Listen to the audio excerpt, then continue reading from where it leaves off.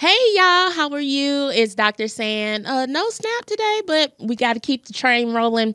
And this is Damn the Cap podcast. So today we got a lot of things going on that I want to talk about, and our subject is why do people cheat? And you know, this has been a big discussion that we've had lately, um, just amongst me and my friends. And you know, I just want to give you my perspective on it, on thinking about why people cheat. So, one thing that people think about when they cheat are um, a number of things, but the first thing that always comes to me as a question is why do you think people cheat? And one reason why is sexual variety. And it's not what you're thinking, but it, it's not necessarily that they're craving to go to other people, but it's just boring in the bedroom. What are you doing to make it exciting? What are you doing new to enhance it? What are you bringing into it? Um, are you looking at anything in particular? Are you doing anything in particular? You know, the same old same thing gets very stale and very boring. So, some of the things that you can do are, you know, talk with your partner to see, you know, maybe their interest has changed. Maybe they want to try something new. Maybe they want to do something new that's fine too. But um, one thing I will always say is consider what your partner is telling you. They may be telling you something indirectly, you know, especially, you know, if you're closed off and you feel like you're um, not wanting to try something different. Always listen to what your partner has to say and you'll understand where they're coming from. You know, maybe they want a little bit of variety or excitement you know what what are things that you can do to change that? Um you know you can go to your local sex toy store or if you're too embarrassed for that go online um, look and see you know what are some things that are common that you like together you know um, Maybe it's something as small as a, a vibrating toy. Maybe it's a, a device or an aid that helps you, you know, like a pillow or a wedge to help you get in different positions. Especially if you're over 50 and shameless plug um fucking after 50 is available now on amazon if you're interested but you know some of the things that i tell you in there are if you have um, mobility issues and that you know that can happen a lot you know. You're unable to do certain positions certain movement certain things like that and you need devices like wedge pillows or maybe straps or something like that. Look into that. Maybe that can help change up the routine a little bit. Um, maybe go somewhere different you know somewhere different like a hotel it doesn't even have to be anything really major. It can be a different room in your house actually just to change it up a little bit. So when it comes to that part listen to the variety that your partner needs and maybe you need it too and you're just not willing to submit to it. So see if you have a different thing that you know you want to try and bring it to your partner. Maybe it's something that y'all can you know discover together so think about that as you think too. Um, another reason why somebody may cheat is because unfortunately they're not in love with you anymore. And I know that may be a hard pill to swallow sometimes, and especially hearing that from a, a you know someone that you care for and you love. But you know sometimes things run their course, and I know I'm the love doctor and I'm supposed to be trying to fix and help everybody, but sometimes relationships do fall by the wayside. Maybe it's because of maintenance, maybe it's because of attitudes, maybe it's because of, you know, past transgressions that have happened. And not necessarily cheating, but you know, there's family issues, there's health issues and that can take a toll on a relationship as well. So, you know, maybe you know, it was some of those things and it just got to be too much for your partner. And they realized, hey, I love this person, but I'm not in love with this person. And their feelings have changed. So that might be something too that you may want to investigate. You know, um, nobody wants to feel unwanted, of course, but sometimes it's a necessity that you end a relationship for for the good of you and the other person because you know then it becomes a toxic relationship. And we know how toxic relationships become. You know there can be arguing there can be fighting and and unfortunately it can escalate to even more things. So we want to make sure that we want to end toxic relationships and and bad relationships as well. Even though they may not be in love with you you know find a way to maybe get some help through the situation uh, you know find uh, an outlet. And when you do in the relationship try to work on yourself. You know don't worry about you know what did i do wrong or what went wrong or something like that. Those are always questions that you might want to put in the back of your mind so that you can work on that for yourself though. Um, you know don't come to the other person with that like that um, it can only make the situation worse sometimes. So when you come out of that relationship, if you do, unfortunately, you know, try to work on yourself to make yourself a better person and you'll feel a lot better about it. Uh, something else that you can do is when you're coming out of a relationship, make sure that you're working on being a better person for others as well as yourself. Uh, it may be that nasty attitude that you may have. You know, we have things about us that we don't necessarily like or necessarily love. And we know those are things that we may need to change within ourselves but we don't do it. So now, when you're out of this relationship, that's a perfect time to work on it. Whether you have to do shadow work, whether you need to go to a therapist and talk about um, things that happened in the past, or if you just need, you know, good old fashioned just fun in your life to get your yourself back to where you were do those things to make yourself worthy and feel better again. Uh, speaking of toxic relationships, that's another thing. You are in a toxic relationship, and it's been toxic from the beginning. You know, it may have been, you know, somebody telling you where you needed to be, what you need to do, how you need to do it. And at first, you know, you were like, oh, they really taking an interest in me. But soon you come to find out that they're trying to be very controlling of your life. They're trying to instill everything that they want you to be that you're not to them.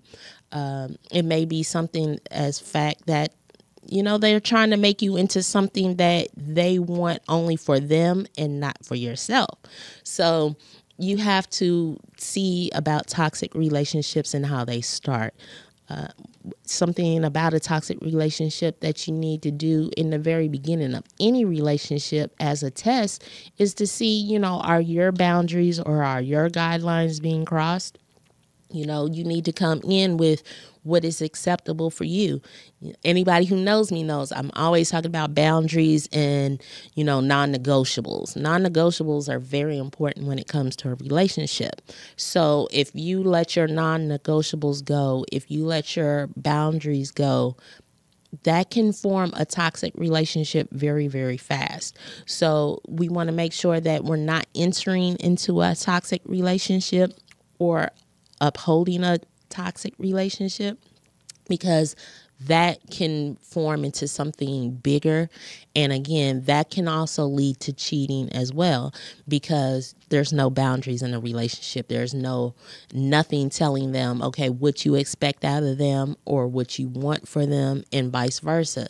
So make sure whenever we're going into a relationship, especially in the beginning, that we have those boundaries and those non negotiables down because it's very important from the start to make sure that you know what you're trying to do and where you're trying to move with your relationship. Uh, something else that may lead to cheating that we never really would have thought is low self esteem. You know, I was just telling the story about someone that I knew that um, told me that they were cheating because they you know didn't get attention in high school or they was not popular you know early on in life. And now that they're in a position they're getting all these people coming towards them and you know all these offers they don't have self-control and don't know how to say no. So you know, we want to make sure that our self-esteem is in check. We want to make sure that we, you know, love ourselves. We're we're doing our self-care. We're doing our self-love and our self-trust trust and our self-worth. You know, we want to make sure that those are important to us in and out of relationships you know we we tend to lose ourselves sometimes and when we lose ourselves we lose a lot of our self-esteem self-worth self-love all of those things. So we want to make sure that we keep them cohesive with us at all times. Um, what does self love look like? Well, making sure we're taking care of our health. And we're not talking physical health, we're talking um, mental health too. You know, it, it's very important that we take care of our mental health. You know, those daily stressors, that that work life, that family life, that everything that encompasses that. We need to make sure that we decompress from the world sometimes, and that can be very trying. But is something that needs to be done. So we want to make sure that that is something that we do to garner up our our love of ourselves. Um, you know, we want to take those trips. We want to make sure that we do those little little spoils for ourselves to make ourselves feel good. And not only that, it's productive because once you feel good, you're spreading love and, and positivity to other and to others and it's going to be fine because you have enough to give.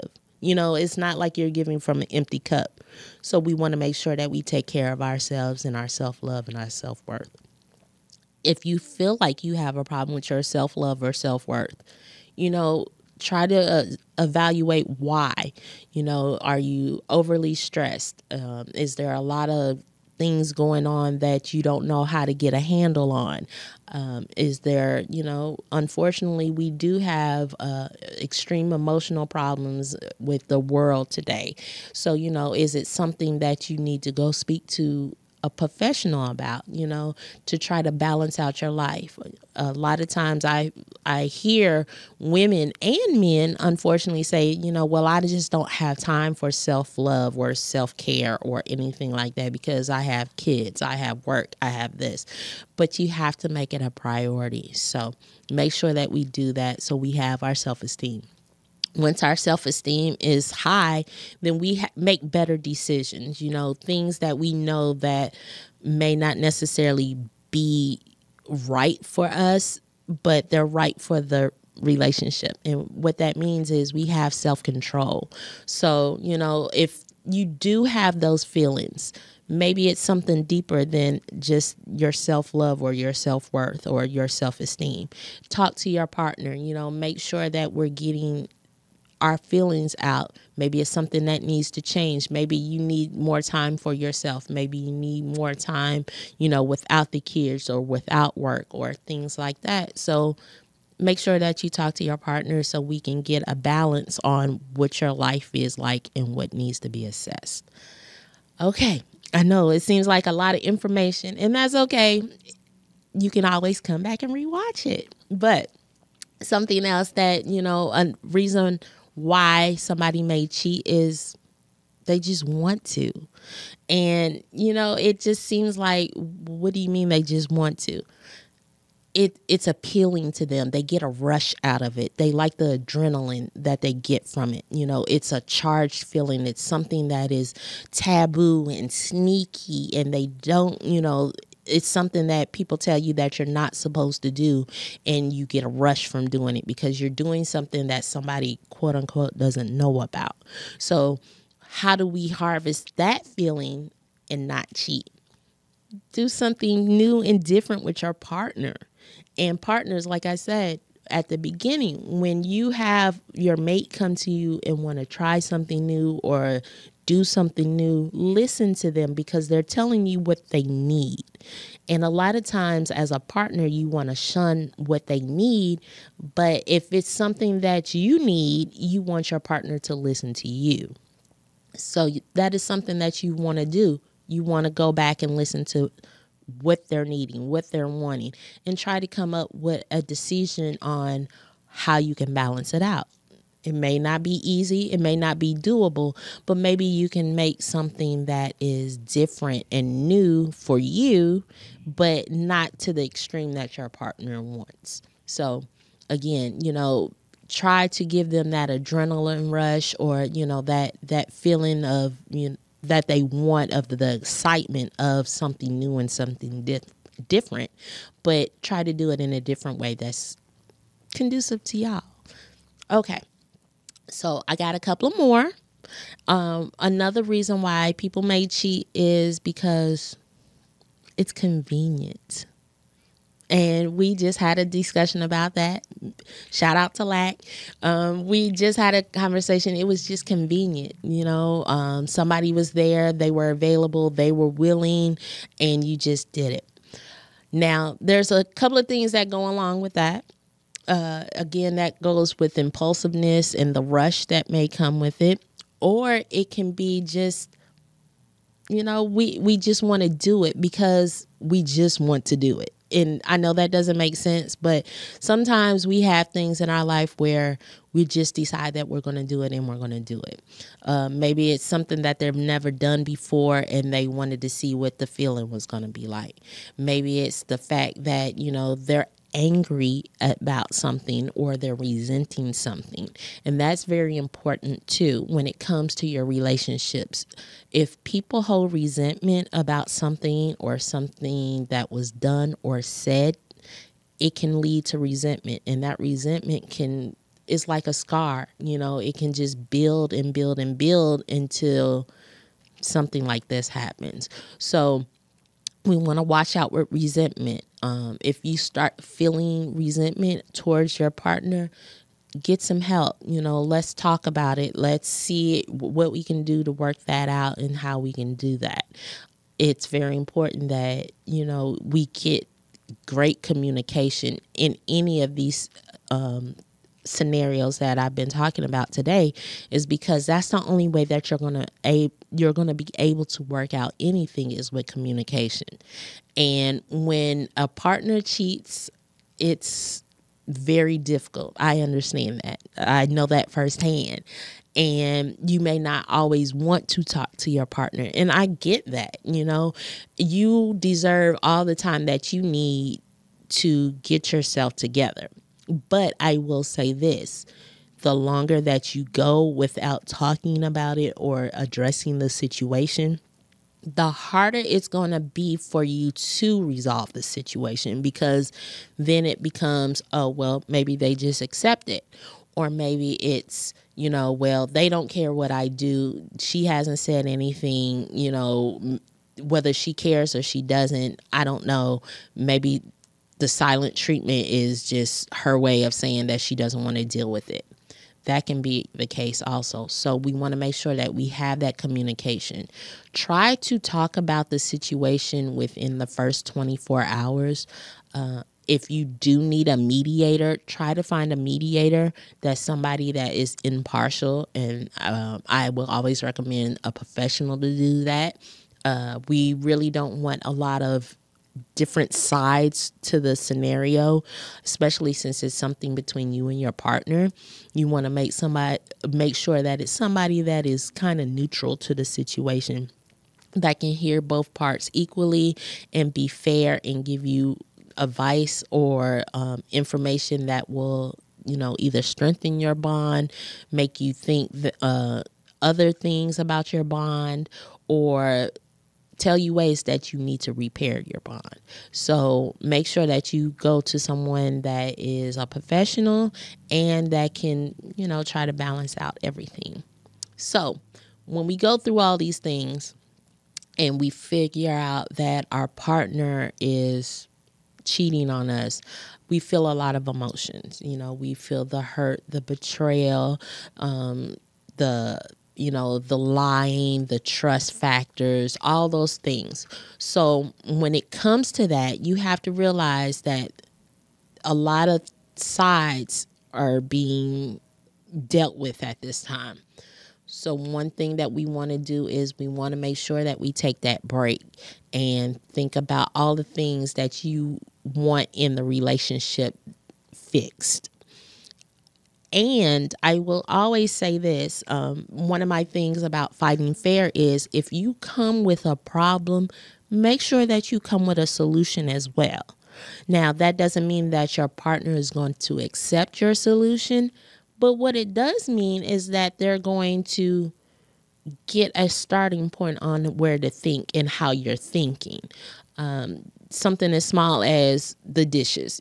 I'm just using this as an example so you understand what I'm saying. Say, you know, you're tired of doing the dishes every day. Okay, so you're tired of doing the dishes every day what would be a help for you. You can't just say, Well, I need somebody to help me with the dishes. Okay, so that's fine. Do you want somebody to wash them? Do you want somebody to dry them? Do you want somebody to wash and dry them on different days? Do you want, you know, somebody to be there with you and you switch up every so often?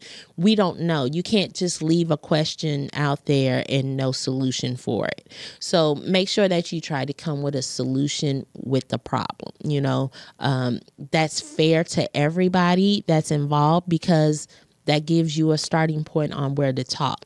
Uh, like I said, your partner may not necessarily agree with what your counter offer is, but you know, maybe they'll say, Hey, you know, I understand what's going on. I can give you three days out the week. Is that enough?